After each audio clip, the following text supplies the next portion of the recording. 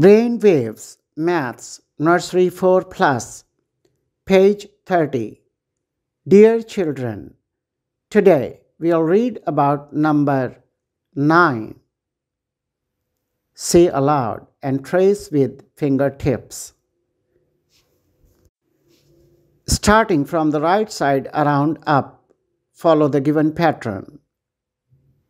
Now, say aloud. 9 nine, nine. What do you see on this page?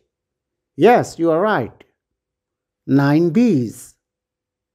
That's good. STEAM activity. Count and separate nine colors from your color box. It is very interesting activity. Start picking up colors from your color box and counting them in a sequence.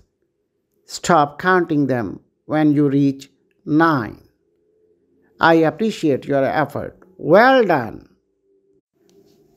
Think and tell.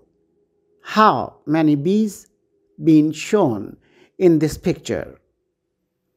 Start counting bees shown in this picture. You will see there are 9 bees in this picture. So 9 will be the correct answer. Guidelines for teachers.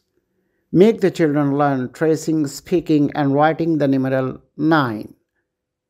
Tell them about the objects that are naturally found as nine entities, nine planets in the universe, etc.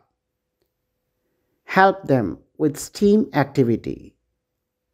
Use sand tray to trace the numeral 9 and practice accordingly. Have a nice day.